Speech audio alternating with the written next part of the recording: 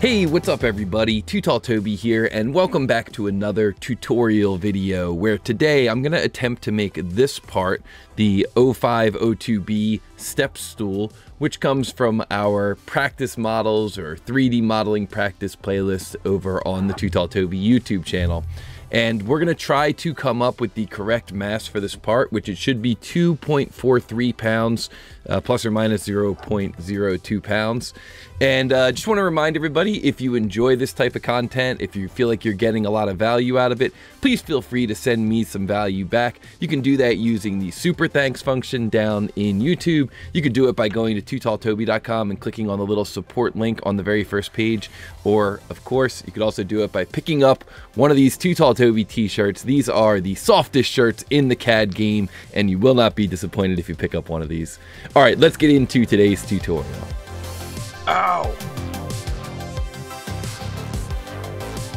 Okay, so we're going to build this thing in SolidWorks, and I think as always, it's a good idea to kind of get a basic game plan. We can look at the print here. We can see the print is in ABS material. It's working in inches.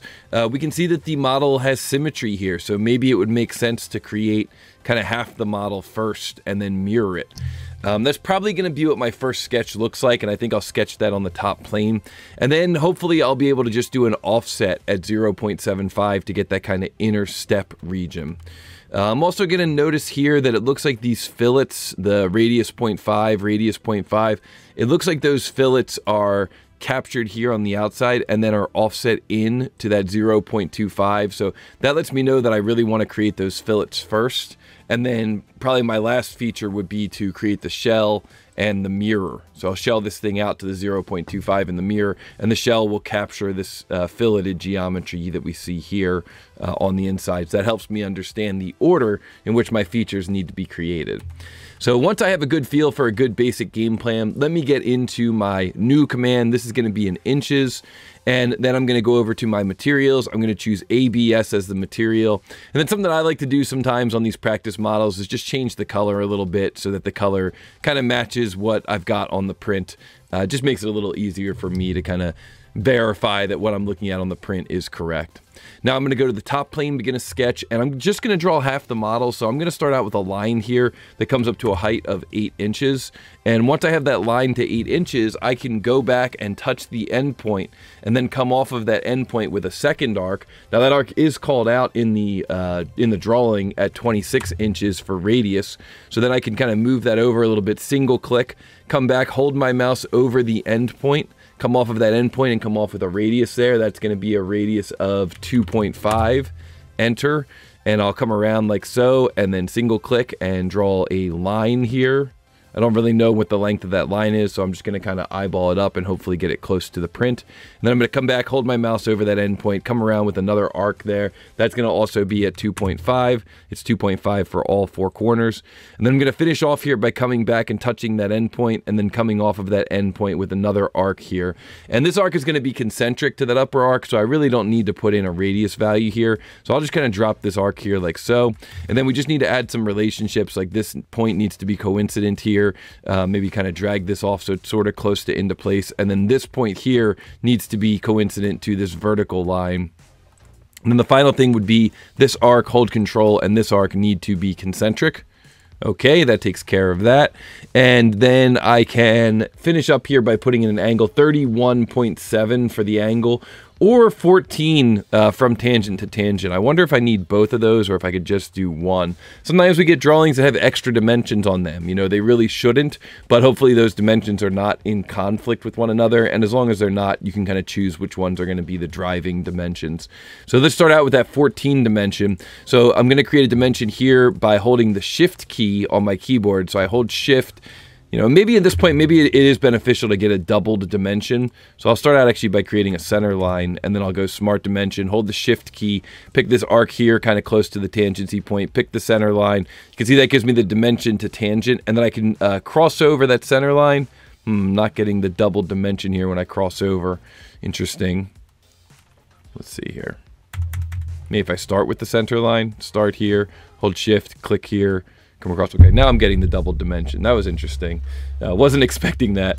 14, enter. Okay, it's still not fully defined, so let me kind of drag this close to the correct location. Then I'm going to smart dimension again. I'm going to go from this line to this uh, vertical center line.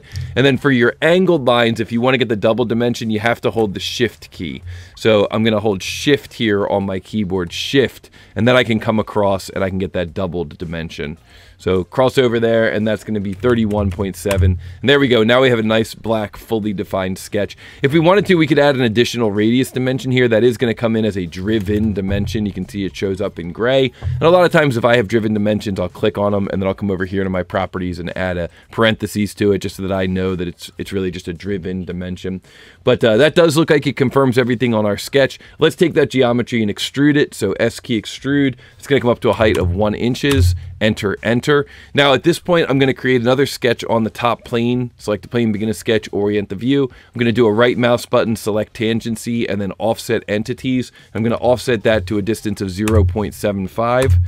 And I'll finish that off by just creating a line here to close that off and S key extrude, and that's going to go up to a height of 5.5. So because I sketched that on the top plane, I was able to put in the correct max height dimension. Um, as, you know, the instinct, your instinct might be to create that second sketch here on this plane, but then you're going to have to do some math, and you're not really going to get the uh, the correct design intent for that 5.5. So instead, just did a little bit of planning and decided to sketch on the top plane, make it a little bit easier for me.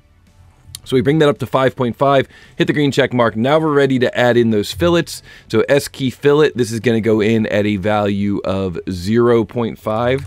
So 0.5, we'll click on this edge here. The tangent propagation wraps that fillet around. We'll click on this edge here. The tangent propagation wraps that edge around. Right mouse button to finish that command.